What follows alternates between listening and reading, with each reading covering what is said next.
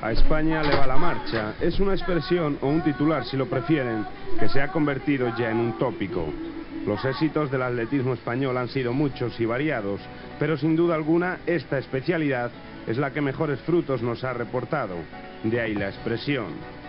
Salamanca a lo largo de su historia ha tratado de fomentar en la numerosa población joven de que dispone no solo la formación académica, sino también la formación física, haciendo bueno el clásico latino, mensana incorpore sano. No obstante, aquí, de todas las modalidades deportivas que se realizan, esta es la menos conocida y la menos practicada. Una costumbre al que un grupo de marchadores, encabezados por los hermanos Rodríguez, César y Roberto, tratan de poner fin. Con este objetivo, el pasado fin de semana han organizado el Campeonato Autonómico y primer Gran Premio de Salamanca de Marcha Atlética, que discurrió por la Avenida de los Cipreses. Entre los asistentes, un medallista olímpico. Salamanca, ya lo dije ayer en la rueda de prensa, es una ciudad eh, eminentemente deportiva, eh, con un, un carisma en el atletismo de todos conocido en la velocidad y una prueba como esta, juntamente con las escuelas deportivas municipales y una promoción que está en ciernes por parte del ayuntamiento, eh, es un empuje muy grande para que esta especialidad sea no solo conocida, que ya lo es, pero sí practicada por muchísimos atletas y sobre todo muchísimos escolares eh, a nivel eh, de Salamanca. El actual seleccionador femenino es consciente de las dificultades que existen para practicar la marcha, algunas incluso propias de la misma modalidad. Cuesta porque la marcha tiene una dificultad añadida, aparte de la técnica, que es la de la relación espacio-tiempo.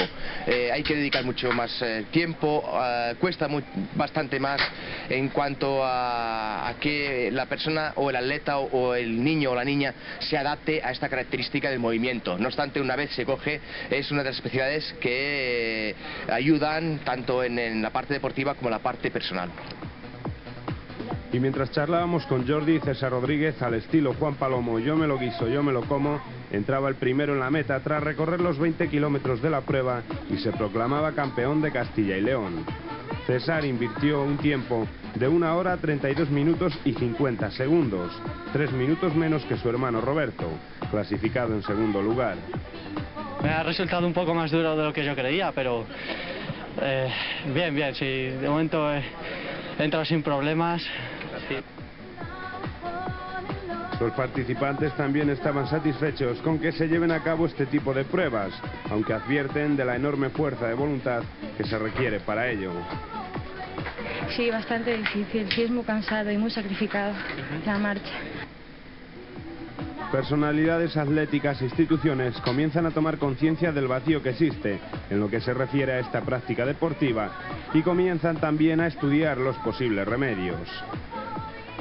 Ahora mismo, casualmente, estaba hablando con Jordi Llopar referente al tema y, posiblemente, posiblemente, eh, si el ayuntamiento, a través de, nuestro amigo Antonio Sánchez, lo pone en marcha, posiblemente se promocione en las escuelas tratar de, de, sacar atletas para la marcha y no solo para la marcha, porque posiblemente se saquen atletas para la marcha y se saquen atletas para el atletismo, porque vosotros sabéis que genios en el deporte en general salen muy pocos. Hay que tener una masa muy grande, muy grande, muy grande para que salga algún genio. ¿no?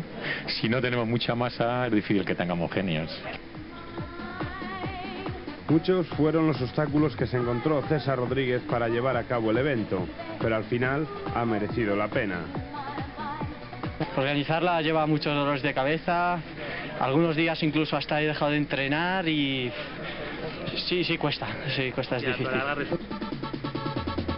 La prueba que había dado comienzo a las 10 de la mañana se vio acompañada por el buen tiempo, ya que en todo momento lució el sol.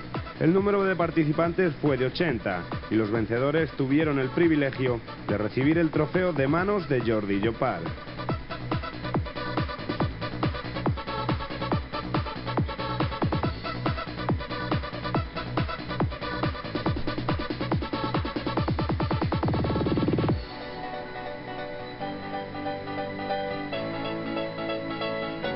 You gotta